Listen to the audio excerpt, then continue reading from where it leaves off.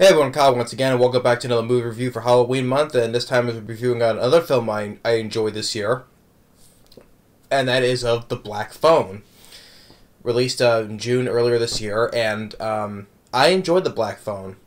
A couple of nitpicks here and there, though, but overall I liked it. The Black Phone is directed by Scott Derrickson, who directed the first Doctor Strange movie, he directed Deliver Us from Evil with Eric Bana, he also directed the remake of The Day the Earth Stood Still from 2008, which I wasn't a fan of. The fifth Hellraiser film, Inferno, that was his, that was his directorial debut. Um, he directed Sinister, which I was not a fan of, though. Um, he also directed the the Exorcism of Emily Rose.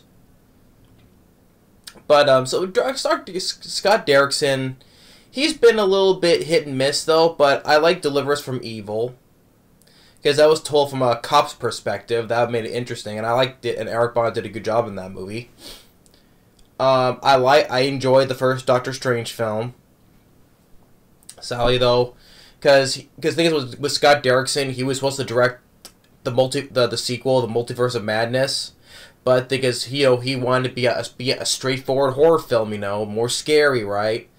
But the stupid idiots, the stupid idiots at Marvel I don't know if it's Kevin Feige or whoever, you know, they did not want that, you know, so due to creative differences, Scott Derrickson left. You know what? And then he decided to make decided to make the Black Phone instead, which you know what, he made the right decision because you know Marvel is now is, is now run being run full of idiots now because it's because it's either it's either their way or the highway, you know. Because that was the same reason with why um, director Edgar Wright, you know, who did Shaun of the Dead and Hot Fuzz, right? Um, who was supposed to direct the first Ant Man movie, right?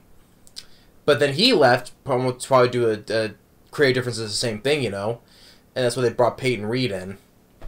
So I, I just, I just, I'm just tired of saying, uh, you know, if they want to make it a certain way, let them do it, do it that way, you know. I would have been interested to see how Doc's, uh, Scott Derrickson's version of the Multiverse of Madness would have been, you know.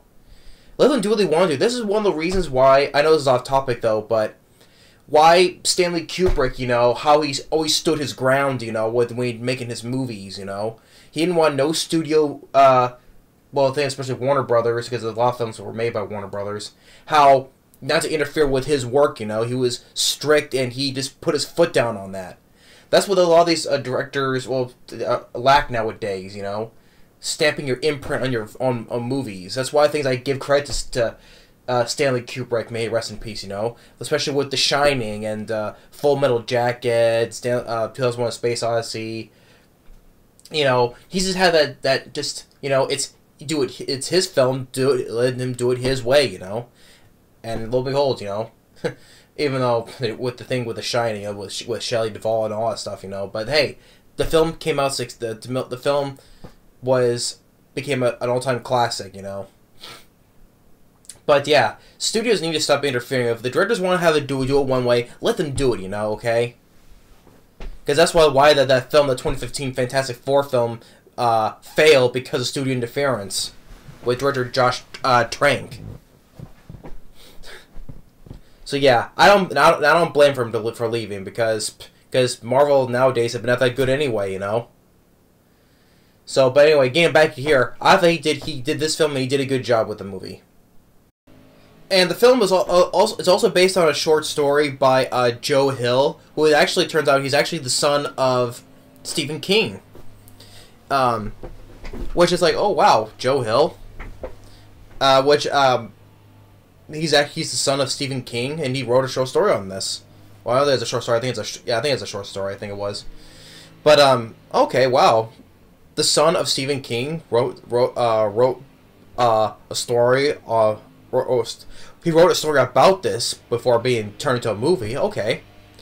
And it turns out actually uh, Joe Hill, who's actually actually was in Creepshow when he was a when he was a kid. He was actually in Creepshow. I think one of the one of the anthologies was in Creepshow though, but he was in that. So yeah, I actually thought the kid who grew up to, uh, who was Stephen King's son will grow up to write this the story, The Black Phone, and then it gets turned into a movie. You know, which I did not know about. Now, um, so yeah, so the son of Stephen King wrote this uh, story that would be made to this movie, you know. So, and okay, that was that was that was interesting because I didn't know that Joe Hill he was the the son of Stephen King, which I've always enjoyed Stephen King though. But even though he, uh, like I said, speaking of Stephen King, you know how much he hates his movie, the, the movie The Shining, you know, which going back with Stanley Kubrick, you know, but whatever. And the film stars Ethan Hawke. He's the villain in this. I thought it was a different role for him, and he did a good job as well. He was uh, this villain called the Grabber, who's been uh, kidnapping and abducting uh, kids, right?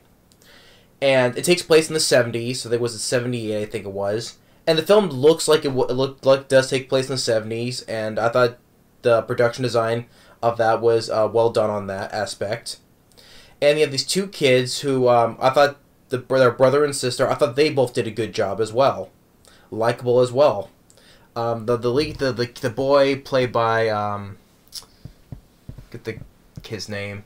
His name is Finney, played by Mason Thames. He did a good job. Um, and the sister Gwen, played by Madeleine McGraw. I thought she did a good job as well. And they have they have a they have of course they have an abusive father. He's actually played by Jeremy Davies. Which, if I remember Jeremy, Jeremy Davies, I mostly remember him when he was in Saving Private Ryan. He played the character Upham. Upham, he was the guy. Um, he he was brought along, you know, to translate to translate the German ger, the German language to Tom Hanks and his crew, and of course the famous scene where. Um, he was. I know he, he was. He was either scared and he froze up. You know, when he was on the stairway when he heard one of his comrades. Um, you know, was when when was being the the Nazi was pushing the knife down into him, right? He was like, shh, right, and the Nazi just walked right past Jeremy Davies. That was Upham until he finally killed that one uh, German soldier where he lets go. Yeah, that was Jeremy Davies. He was Upham from Saving Private Ryan. So he's in this. He's the abusive father because the the, the brother and sister they lost their mother and that's one of the reasons why he was became abusive guy. Because because the like, the mother had dreams and now the sister had dreams right? And he would beat her. And then um, Gwen he, he would beat Gwen. And then the brother Finney he's he's bullied as well at, at school you know by the people. And he just like he like he's like what was it? Um he's in a shell basically. He stays in a shell you know not standing up for himself and until one day when he gets kidnapped by the grabber, played by Ethan Hawke, or which he had like this white makeup on when he's not wearing the mask, you know, and is wearing this top hat. And he did a good job, uh, Ethan Hawke, as well. And he gets to, to to, to his place, put in this basement, and there's basically a, a, a, bare basement, basically nothing around, except there's a phone, uh, one of those old uh, revolving uh, phones, right? It doesn't work. But when he gets a call, he he only receives them. He can't call because it's broken, but he receives calls, and the calls he's been getting from is from the other past abducted children that he killed. And sometimes they're seeing their we're seeing their ghosts as well, and they're kind of like giving him clues, you know, to how to try to escape. Although they all fail every time because if that if they did succeed, then the movie would be over, right? So but of course they so they have to fail. Like one, like he tries to go through the window, or tries through the hole in the wall, or one time he tries to sneak past the guy who's who's pretend to be asleep, or there's a lock code, but he gets it, but there's a dog. So then, then they all fail it every time, you know. And the whole thing with the sister, you know, thing investigating with uh, what happened to his bro- to her brother, and like using her dreams, like her visions, to help her out, right? Like, there's a moment where like there's some with the kids, like one kid's like pointing, like the dead kid, the ghost right kid, It's like pointing, but it's nothing. There's nothing there though, because from his point of view, he's pointing from like it's like how do I put this? From his world, whatever. Um, he's maybe pointing nothing though, but thing is where he's pointing where he's like and he's like he's at another place, right? We the viewer is like he's at another place where he's pointing is like a house or a person, right? So while the kid is like seem like he's pointing nothing, right? But he's actually pointing at something from outside uh, the house, like a different place, right?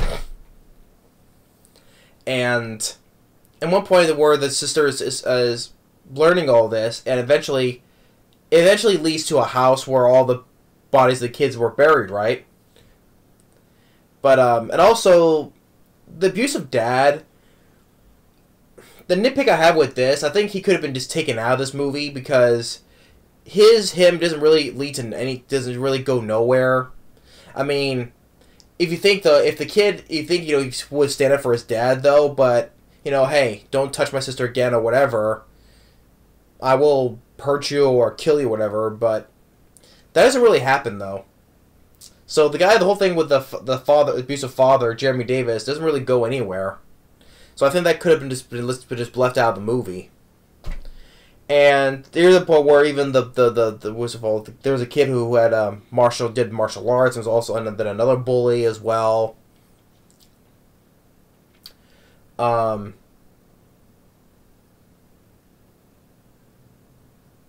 What else I would say? Because I want to give too. because with this film I don't want to feel like I want to give too much away. Although the ending, I'll say this: the ending is not a downbeat ending. I will say that is not a downbeat ending. Very satisfying, you could say, to especially to the villain, to Ethan Hawke. And also, there's also with Ethan Hawke's character, like he may have like like different um, because he because he wears different masks. You know, the one you see on the poster, and then he wears another mask. It makes like he have may, have multiple personalities because he wears each different mask he wears. It has a different attitude, right? But um, but he does need to get a good come up, as I would say. And then also, Ethan Hawke's character also had a brother who does like cocaine, though. I mean, he was kind of acting really silly. I mean, he does like when when he gets the when he gets the lead kid Finney, he's like, "Oh, I finally see what I got you." You know, the way he's talking is like, okay, that's like an off kilter type of moment, you know, for a, a movie like this, right? and that's when Ethan Hawke really kills him with an axe to the head.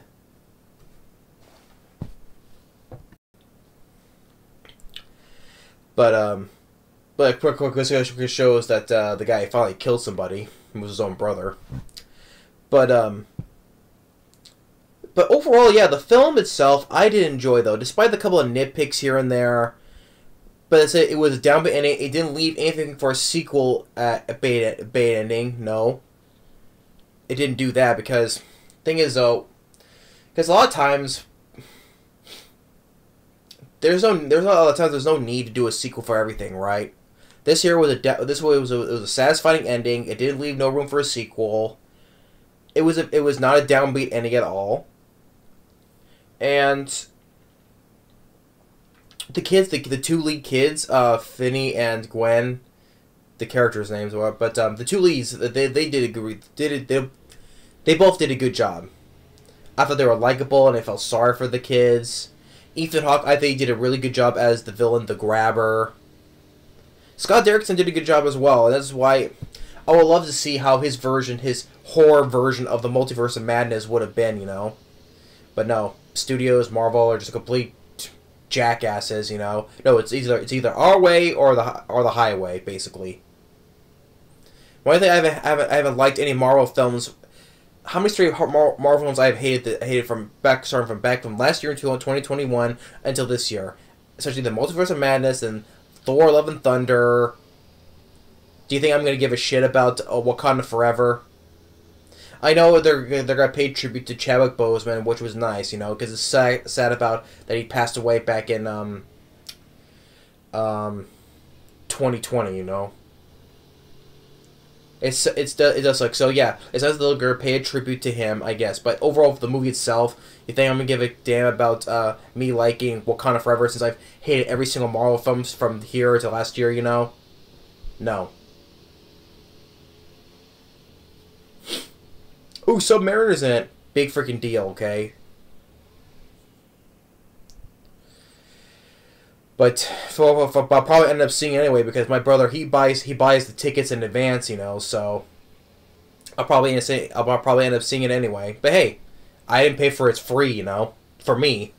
Because my brother he always pays for these tickets, so I'm not gonna complain about that. oh, you cheapskate! No, I hey I pay a lot. I paid money to go to see a lot of movies I did not like. Believe me.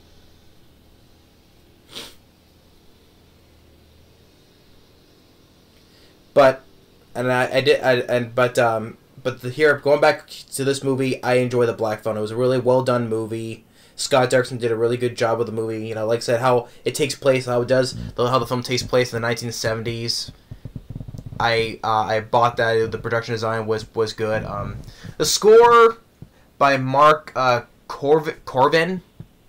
The score by Mark by Mark by Mark Cor- Korven. I thought it fit the film well. Just how just how it fits, like how it is, just how it does. Takes place in the 1970s.